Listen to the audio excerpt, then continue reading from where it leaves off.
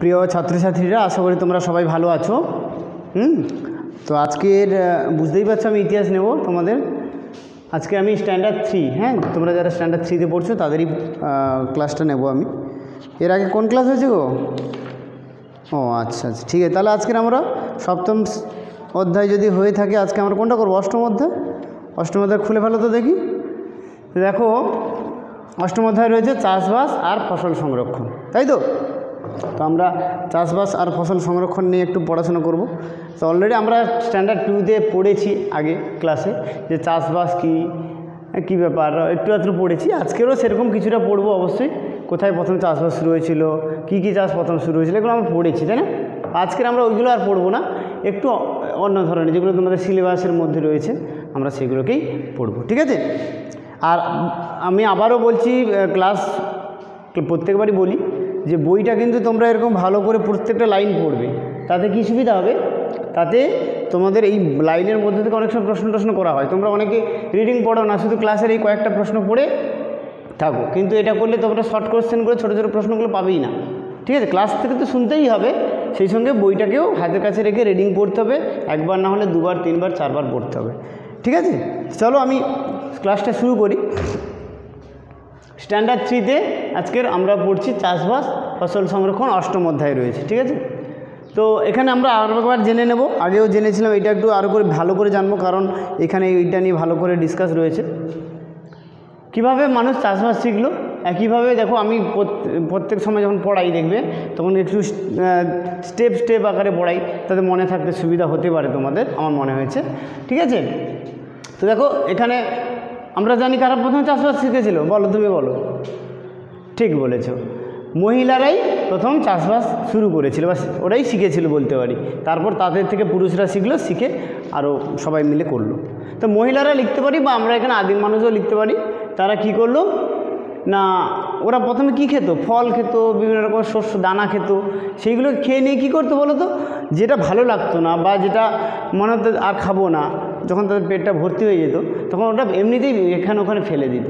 ঠিক আছে? তখন তারা কি করল? ওই রকমই আর আমি ম্যাডাম মহিলা দিয়েছি, তুমি এখানে আদি মানুষও লিখতে পারো, মহিলা দিয়েও লিখতে পারো। সংগ্রহ, এবার যেগুলো আনলো, সেগুলো কী করল? ফার্স্ট মাটিতে ফেলে দিল। এটা কিন্তু জানতো না যে আমরা চাষ করছি, এইভাবে নয় কিন্তু। ওরা এমনিই ফেলে দিত। ঠিক আছে? তো সেভাবে ফেলে দিল ফার্স্ট স্টেপে সেকেন্ড স্টেপে কী হলো? দেখো অলরেডি বৃষ্টি হচ্ছে কখনো কখনো আলো পাচ্ছি, বাতাস পাচ্ছি, সব রকম পাচ্ছি পরিবেশ। সেই পরিবেশ পেয়ে ওই দানাগুলো কী হলো? আবার নতুন গাছ হয়ে গেল। আমরা অনেকেই দেখবে এখনও যারা ছোট ছোট, এইগুলোতে খুব ইন্টে যারা ছোটো আছে, তারাও অনেক সময় খেলাধুলা করো, গাছ লাগাও, ইত্যাদি করো। তোমরা দেখবে একটা ছোট্ট দানা ফেলে দেবে, ছোলা কি একটা দানা ফেলে দেবে মাটিতে, দেবে কয়েকদিন পরে গাছ হয়ে যাবে। ঠিক আছে? তো একই রকমভাবে সেখান থেকে নতুন গাছ হলো। এবার কি হলো? মহিলারা ওটাকে ভালো করে পর্যবেক্ষণ করল করল। হ্যাঁ? যারা মায়েরা রয়েছে, তারা একটু পর্যবেক্ষণ করল। যে কীভাবে হচ্ছে, কি ব্যাপারটা, ভালো করে দেখল। দেখার পর ওলা আর অ্যাকচুয়ালি আমরা যখন নতুন গাছ হয়, আমরা দেখবে খুব আনন্দে একটু আত্মহারা হয়ে যায় হ্যাঁ? এবং গাছটাকে ভালোবাসি, গাছের যত্ন নিতে থাকে, তাই না? বিশেষ করে ফুল গাছ হলে তো দেখান মানে আমরা তো ভীষণভাবে আকৃষ্ট হই। যাই হোক, মহিলারা সেগুলো দেখল ফার্স্ট তারপর যত্ন নিল, তারপর ওইখান থেকে যে গাছগুলো হলো, সেইগুলোকে সরি দানাগুলো হলো, সেইগুলোকে সংগ্রহ করে নিল। খুব সিম্পল স্টেপ চার নম্বর স্টেপে তখন তারা ভাবলো আরও কি করে আমরা নিজেরা চাষ করব? তারা তো দেখল এতক্ষণ। তখন তারা লাঙল করা মাটিতে দানাগুলোকে ছড়িয়ে চাষবাস শিখে ফেলল। খুব সিম্পল কয়েকটা স্টেপ মানে কঠিন কিছু নয়। এবার যেটা বলব তোমাদেরকে, যে চাষের জন্য কোন জায়গাগুলোকে তারা বাঁচলো তাহলে? হ্যাঁ আমি যে বললাম না নাঙ্গল করা মাটিতে, কোন মাটি, কোন জায়গা না, অবশ্যই তোমাদের যদি একটু খেয়াল করে দেখবে, যেখানে নরম ভেজা মাটি, সেইখানেই বেশি হয়। রাস্তার উপর কখনো গাছপালা হয় দেখেছি? একদম মেন রাস্তা যার পথে আমরা হাঁটাচলা করি। হয় না। কেন? না, ওখানে জল, ভেজা মাটি নেই, শুকনো মাটি, ঠকঠকে মাটি। হ্যাঁ? তো এখানে দেখো লিখেছি, চাষের জন্য নদীর ধারকে কেন বাঁচলো এরকম প্রশ্ন আসে। বলো, কেন বলো? ওকে নদীর ধারে ভালো মাটি পাওয়া যায়। দেখো, আমি ওটাকে ভালো করে কি শব্দে লিখেছি? উর্বর মাটি পাওয়া যায়, ঠিক আছে? ভালো মাটি বা উর্বর মাটি, তোমরা লিখতেই পারো ভালো মাটি। তারপর দেখো আরও রয়েছে, নদীতে জলের মানে নদীর জলকে আমরা কাজে লাগাতে পারি। আর দেখো, এই নদীর ধারের মাটি সাধারণত কি জল ভেজা বা মানে ভালো জলবায়ু থাকার কারণে নরম আর ভেজা হয়। ফলে এখানে চাষবাস ভালো হয়, ঠিক আছে? আর আরেকটা দেখো, কিছু কোশ্চেন রয়েছে সেই সঙ্গে, যে মানুষ চাষবাস যখন করল, লাঙ্গল করার ব্যাপারটা একটু বললাম না? একটু যে লাঙ্গল করা মাটিতে দানাগুলি ছড়িয়ে চাষবাস করল। তো লাঙ্গল কি দিয়ে বানালো? প্রথম তারা, দেখো, গাছের ডাল, শক্ত ডাল অবশ্যই, শক্ত ডাল বা কাঠকে তারা নিয়ে এসে সেটাকে চাষের কাজে মানে ওই লাঙ্গল তৈরি করার কাজে লাগালো। তারপরে কী করল? পাত- ওটা থেকে আবার পাথরের ফলার দিকে একটু গেল, যখন মানুষ পাথরের কাজ কারবারগুলো শুরু করছিল। আরও পরের দিকে দেখবে পাথরটা অতটাই মানে ঠিকঠাক মনে হচ্ছিল না তাদের। তখন তারা লোহার ফলাকে ব্যবহার করল। হ্যাঁ লোহার ফলাকে করে মাটিকে চাষ করতে মানে চষতে লাগল, ঠিক আছে? এইবার যেটা খুব গুরুত্বপূর্ণ প্রশ্ন ভাইটাল প্রশ্ন, সেটা হচ্ছে, মান, মানুষ চাষ করল, চাষ করার ফলে মানুষের কি পরিবর্তন এলো? মানুষের জীবনে। আমি খুব সহজে লেখার চেষ্টা করি, চাষের ফলে কি কি পরিবর্তন হলো। কী হবে বলো? হ্যাঁ অবভিয়াসলি খাওয়ার সুবিধা মানে খাওয়ার অভ্যাসটা পাল্টে গেল। আগে যেটা খেতো সেটা হলো না। এখন শস্য দানাগুলোর উপর বেশি ডিপেন্ড করল। সেই সঙ্গে দেখো, এর আগে কী দেখছিলাম যে মানুষ এখানে ওখানে ঘুরে ঘুরে বেড়াচ্ছিল, পশুপালন যখন শিখেছিল। আর এখানে কি দেখছি, তাহলে ওটা আর হবে না। কেন হবে না একটু পরেই বুঝতে পারবে। যাযাবর জীবনটা কমে গেল। অর্থাৎ আর সেভাবে দেখতে পেলাম না। আর সেই সঙ্গে সঙ্গে আগে যে মানুষ খাওয়ার দাওয়ার করতো, এখন কিন্তু পুরো উদ্ভিদের উপর নির্ভরশীল হচ্ছে। দেহের গঠনটা খুব ইম্পর্টেন্ট কিন্তু এই পয়েন্টটা দেহের গঠনটা কিন্তু পাল্টে যাচ্ছে, মুখের চোয়াল পাল্টে যাচ্ছে হ্যাঁ সমস্ত গঠনগুলো পাল্টাচ্ছে ধীরে ধীরে। সেই সঙ্গে খাদ্যের সমস্যা দূর হচ্ছে। আর যে বলছিলাম যাযাবর জীবন শেষ হচ্ছে, এইখানে দেখতে পাচ্ছি। কারণ মানুষ এর মধ্যে ঘর বানিয়ে ফেলেছে আর বসতি গড়ে তুলেছে। ঠিক আছে, আমরা ঘর নিয়ে আমরা যেহেতু আমরা পড়েছি ফসল সংরক্ষণে ঘর বাড়ি, এগুলো নিয়ে একটু আলোচনা করব, অবশ্যই পরে। আর সেই সঙ্গে দেখো, গোষ্ঠী জীবন প্রকট হলো। গোষ্ঠী জীবন মানে কি? না, মানুষের একসঙ্গে বসবাস করা বা আরও তাকে সমাজ সভ্যতা এগুলো যে গড়ে তোলা, এগুলো আরও ধীরে ধীরে আরও মানে বুঝতে পারলাম যে মানুষ এবার আমি তোমাদের একটা জিনিস দেখাবো, দেখো কীভাবে চাষবাস হচ্ছে, সেই ছবিটা আমি একটু তোমাদেরকে সঙ্গে শেয়ার করার চেষ্টা করব, ঠিক আছে? তো আমার মোবাইলের দিকে একটু স্ক্রিনের দিকে খেয়াল করবে। দেখো, এখানে একটা চাষের জমি রেডি করা হয়েছে, ঠিক আছে? মানে কুপিয়ে লাঙ্গল দিয়ে, বুঝতেই পারছ? এটা যদিও আধুনিক ট্রাক্টরে করা হয়েছে, তবে এইভাবে কিন্তু আগেকার দিনেও মানুষ করতো। ঠিক আছে? এবার কী হচ্ছে দেখো, মানুষ ওই, আমি ধান গাছের এটাকে দিয়ে দেখানোর চেষ্টা করেছি, মানুষ ওগুলো পুঁতে দিচ্ছে, অর্থাৎ চাষবাস করছে মানুষ ধীরে ধীরে।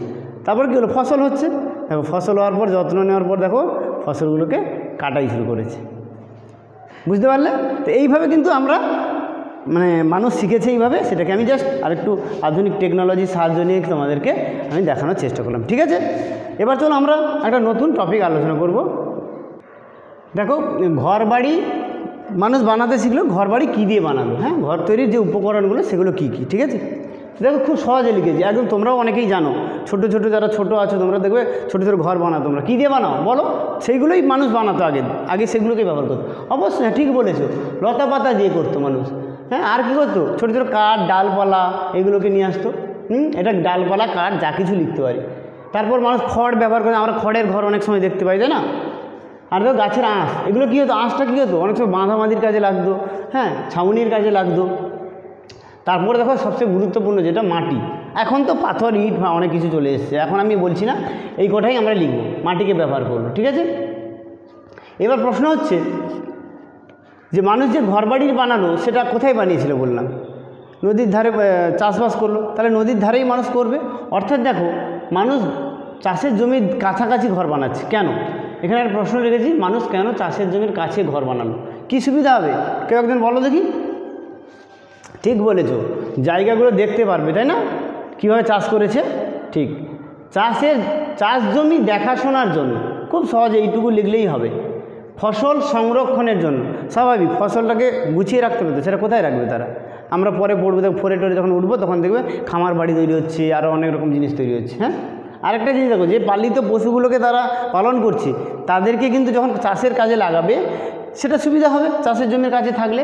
ওই জন্য পালিত পশুদের সহজে কৃষিক্ষেত্রে ব্যবহার করার জন্য তারা চাষের জমির কাছাকাছি জায়গাকে ঘর মানে ঘর মারতে লাগল ওই জায়গাগুলো ঠিক আছে?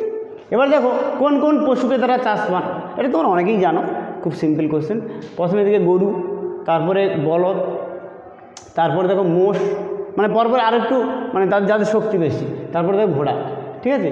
এগুলো শুধু যে একদম চাষে ওই লাঙ্গল করতে তা নয়। এই লাঙ্গল করা ছাড়াও ফসলগুলোকে ক্ষেত থেকে আনা, তাদেরকে দিয়ে ভারী, ওই ভারী ভারী যে ফসলগুলো হতো বেশি বেশি, সেগুলোকে তারা বয়ে বয়ে নিয়ে যেত। ঠিক আছে? অর্থাৎ মাঠ থেকে ওই ঘর যে বানালো, ওখান পর্যন্ত নিয়ে যেত। ওইভাবেও ব্যবহার করতো। সবসময় লাঙ্গল দিয়ে ওটা, এই কনসেপ্টটা ভাবলে হবে না।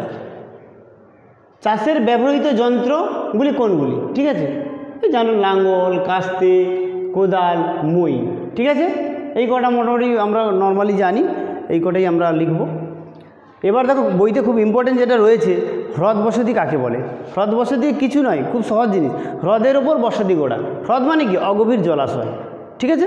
দেখো, লিখে দিচ্ছি অগভীর জলাশয় বা হ্রদ, যেটাই লিখতে পারি।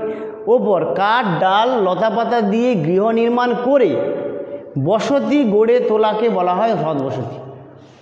বইতে রয়েছে, খুব সিম্পল এভাবে লেখা নেই, আমি লিখে দিলাম এটা। এটাই হচ্ছে হ্রদ বসতি।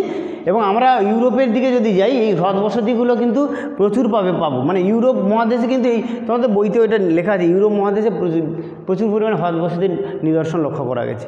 আমাদের দেশে যদি বলি, আমাদের দেশে বিভিন্ন জায়গায় হ্রদ বসতি রয়েছে। আমি তোমাদের ছোট্ট একটা উদাহরণ দিই, যেহেতু আমরা কাকদ্বীপ এলাকায় বাস করি, তোমরা যদি ট্রেন রাস্তার ধারে দেখা, খেয়াল করো, ট্রেন রাস্তার আশেপাশে দেখবে ওই জলাশয়গুলোর ওপর না, কাঠ ফাট দিয়ে মানুষ ঘর তৈরি করেছে, বাস করেছে। ওটা এক ধরনের হ্রদ বসতি। ঠিক আছে, যদিও আমরা ওটাকে হদ বসতি কনসেপ্টে নেব কিনা বিতর্কের বিষয় হতে পারে, কিন্তু ওটা হদবসতির মতোই, ঠিক আছে? তোমাদের বুঝতে সুবিধা হবে বিষয়টা। তো আমরা এইটুকু মোটামুটি আজকের আলোচনা করলাম, বইয়ের মধ্যে রয়েছে এইগুলো, আপাতত। আর তোমরা অবশ্যই এক্সট্রা পারলে পড়- পড়াশোনা করবে। আর এই যে প্রশ্নগুলো আছে না এগুলো এগুলো তোমরা আলোচনা মানে বাড়িতে প্র্যাকটিস করবে, ঠিক আছে? ছোট প্রশ্নগুলো অনেক কিছু রয়েছে, তো তোমরা সেগুলো প্র্যাকটিস করবে মোটামুটি। আর লেখার চেষ্টা করবে, আর আমাদের পারলে দেখিয়ে নিয়ে যাবে। অনেকে তোমরা দেখিয়ে নিয়ে যাচ্ছ, খুব ভালো বিষয়। আমরা বুঝতে পারছি যে তোমরা পড়াশোনা করছ, ঠিক আছে? তো আজকের মধ্যে এইটুকুই থাক। Tata bye